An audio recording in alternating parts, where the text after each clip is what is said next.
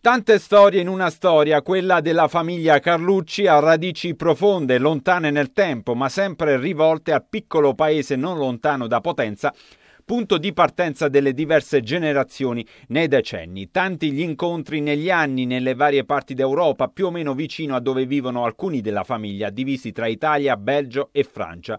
E ogni incontro, come quello dei giorni scorsi proprio a Ruoti, riserva sempre qualche sorpresa nell'immancabile emozione di rivedere fratelli, cugini, zii, nipoti che si vorrebbe sempre vicini. È bello perché eh, ci si rivede dopo tanto tempo, magari con qualche cugino non, eh, non, ci si ricorda, non ci si conosce, qualche nipote che non si vede da, da, da quando erano piccoli, da vent'anni e allora ritrovarsi qui ogni 3-4 anni che riusciamo a fare questa festa, dopo c'è stata la pandemia che ci ha bloccato, quindi eh, è una cosa dire, emozionante perché si ricordano l'infanzia, di quando erano bambini che si giocava con i cugini qui a casa del nonno, e poi si è cresciuti, molti abitano in Belgio, in Francia, magari non ci si vede da, da 15 anni, 20 anni, i, i nipoti che anche non, non si, si, ricordano, e si vedono cresciuti, insomma è un'esperienza molto emozionante. L'occasione è valida anche per festeggiare piacevoli anniversari.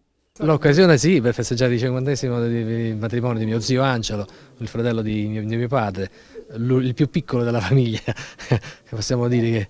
Eh, e poi anche l'altra volta ci fu l'occasione del, del cinquantesimo di anniversario di un altro zio, insomma si, si coglie l'occasione per fare um, più festeggiamenti.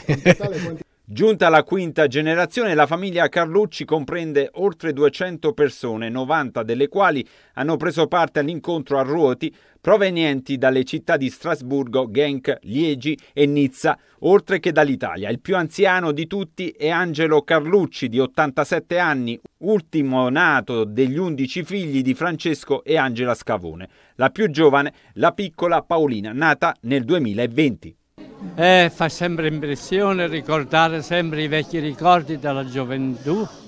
Sono 70, sono partito da Ruote nel 1950, il 4 novembre, sono, sono stato in Italia. Poi nel 1970 sono partito all'estero, sono andato in Francia dove stavano i miei fratelli e le sorelle. Poi il 10 agosto del 1972 mi sono sposato, ho incontrato mia moglie attuale che è venuta in Francia per vacanze. Siamo incontrati, abbiamo detto qui e, e siamo qui.